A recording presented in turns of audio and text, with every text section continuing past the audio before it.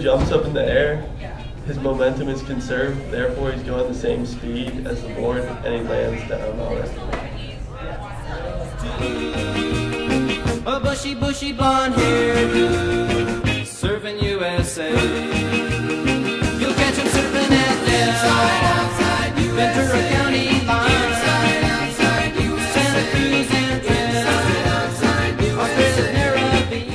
When Owen's at the top of the ramp, he reaches maximum like potential energy, and as he goes down, it becomes kinetic energy. But overall, conservation of energy remains the same because nothing is gained or lost.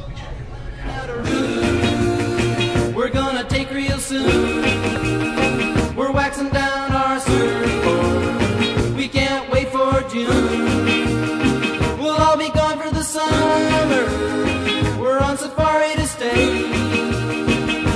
The teacher we're surfing, surfing USA.